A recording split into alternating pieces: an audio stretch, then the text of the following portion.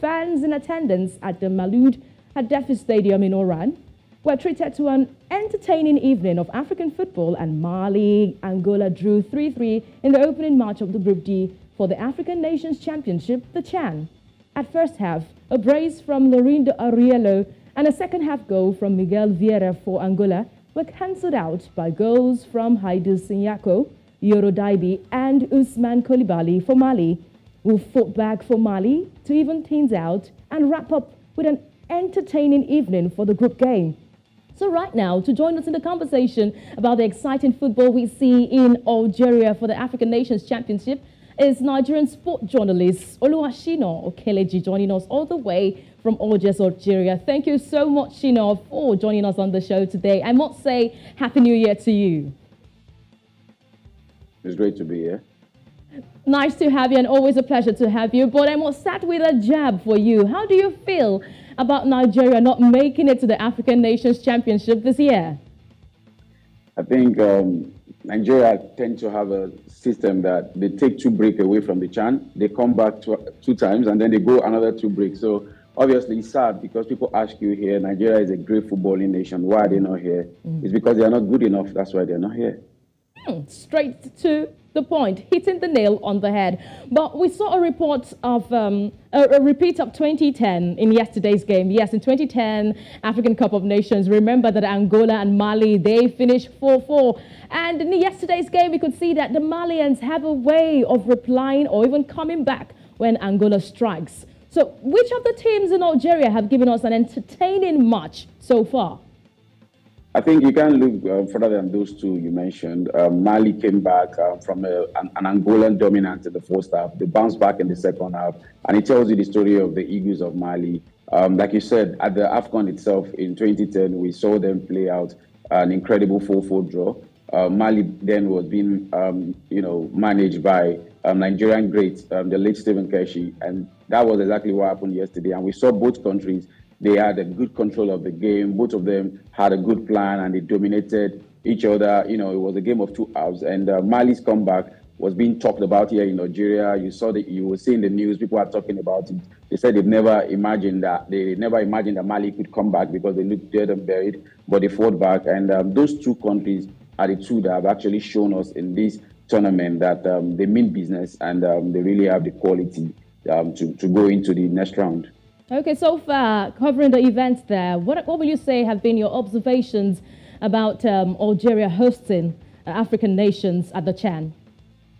I think it's been amazing. Um, surprisingly, I flew in from Paris and I saw that uh, the ambience, the, the environment, everything um, within um, Algeria was ready for this tournament. Algeria is a great footballing nation. The country hasn't hosted any major tournament in the last three decades. I think it was Algiers 90 that, um, that they hosted in 1990, um, the African Cup of Nations. They haven't really hosted a major footballing event. And even though it's just the Chan, people will say, oh, it's just the Chan. Um, you see in Algiers, um, in Annaba, in Constantine, and even in Oran, you see that people actually came out in numbers uh, on mass. You see people coming out. Also, the facilities here are absolutely top notch. Um, the stadium yesterday in Oran, where um, we, we saw that, that thrilling game you mentioned, um, is one of the finest. I understand it was um, it was built for the Mediterranean game. So Algeria looked ready, prepared, and everything so far, everything is looking great.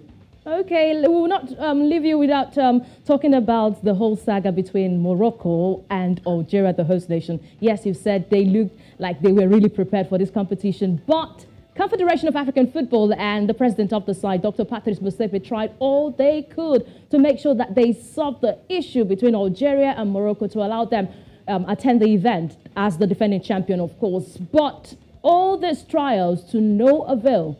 Does this expose CAF's inability to handle issues bedeviling African football? Because that has been the pointer or with all that happened between Algeria and Morocco.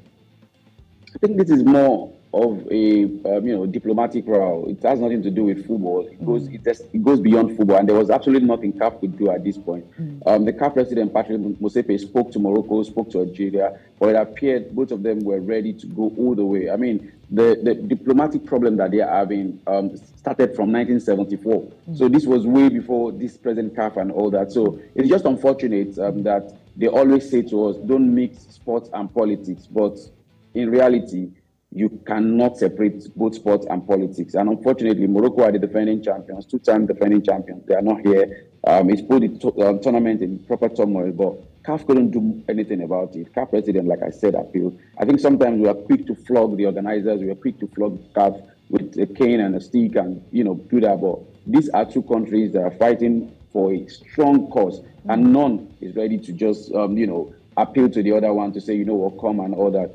Um, Algeria, we're not letting we're not letting going we're not going to open their airspace for Morocco. Morocco knew this and they were just playing the game and everything. So in this case, it's very difficult. The statement the, the, the statement of um, Mandela's grandson, Mandla Mandela, coming here to make political statement. Algeria are now saying in their news here that even during the last tournament of the women, the WAFCON, mm. a Moroccan singer made the same political statement yeah. and there was no war or there was no concern. So I think this is just one that I'll have to sit out because when it comes to politics, you can't win. In football, you can decide three points, but in politics, you can't decide three points. Okay, we'll wait and see. Thank you so much, Oluwashino Okeleji, for joining us today on the show. We appreciate your time Thank on the show.